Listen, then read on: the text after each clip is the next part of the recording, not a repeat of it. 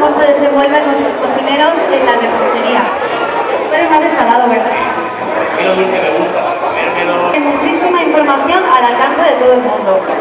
Eh, pero por ejemplo, si no tenemos una Tecnomix que nos lo haga todo, ¿hay algún blog para que apuntemos? Porque a los que nos gusta cocinar es verdad que hay muchísimas páginas.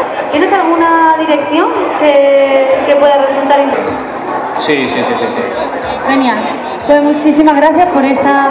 Y, y lo damos por hecho siempre, pero hay gente que sigue siendo un, un gran amigo de, de los libros. No les dejo descansar. Estamos hablando Juan Fernández y José Torrente de libros, sobre todo la gente joven de internet, para descubrir nuevas recetas, además. ¿Sabes? ¿Te has quitado tu, tu delantal de flamenca?